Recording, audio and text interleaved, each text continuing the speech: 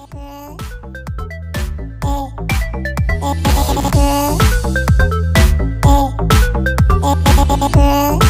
you.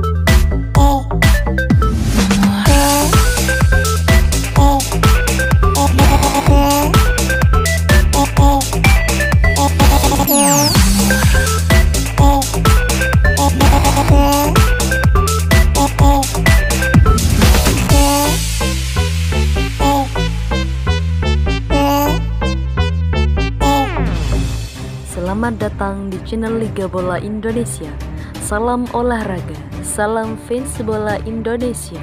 Sebelum masuk ke video ini, jangan lupa like, komen, subscribe, dan aktifkan tanda loncengnya agar kalian tidak dapat ketinggalan berita tentang tim kesayangan kita.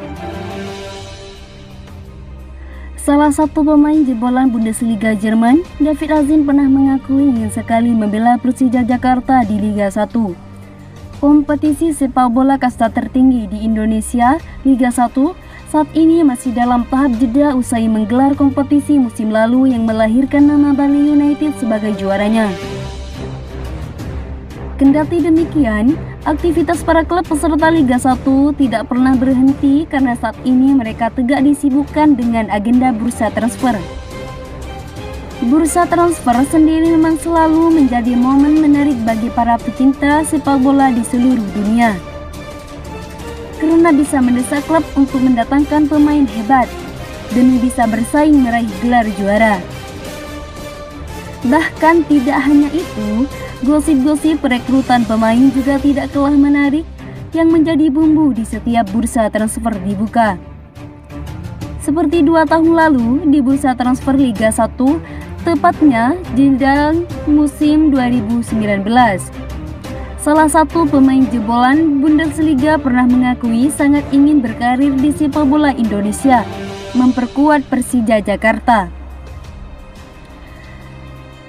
Sosok itu ialah David Azin. Namanya sempat muncul mengehebohkan lantaran mengaku menge mengejutkannya itu. Padahal ia belum sama sekali pernah merumput di Indonesia. Tapi David Azin mengutarakan kalau dirinya sangat terbuka untuk menjelajah sepak bola tanah air. David Azin mengungkapkan bahwa dirinya selama ini cukup mengikuti perkembangan sepak bola Indonesia. Ia pun tak ragu menyebut Persija Jakarta sebagai klub yang paling terkenal dengan basis kelompok supporter luar biasa. Saya mengetahui banyak nama tim sepak bola Indonesia karena saya mengikuti perkembangan liga di sana. Ujar David Azin kepada Indosport pada 2009 lalu. Bagi saya, tim yang paling terkenal adalah Persija Jakarta.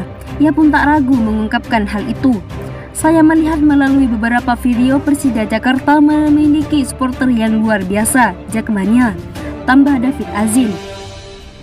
Lebih lanjut, David Azin pun mengaku bersedia jika suatu saat nanti mendapat tawaran untuk membela Persija Jakarta. Ia pun akan ikut andil di dalamnya. Meskipun begitu, David Azin yang hingga kini belum mempunyai klub tak menutupi pintu bagi tim lain jika ingin mengajukan penawaran kepadanya. Dia sangat welcome kepada yang lain. Saya sangat tertarik untuk bergabung Persija, tapi saya selalu membuka peluang untuk klub lain, kata David Azin. Melihat kabar ini, mungkin banyak pecinta sepak bola Indonesia khususnya The Jackmania yang belum mengenal betul tentang sosoknya. David Azin sekitar tahun 2007 hingga 2009 pernah menimba ilmu bersama klub Bundesliga Jerman FC Köln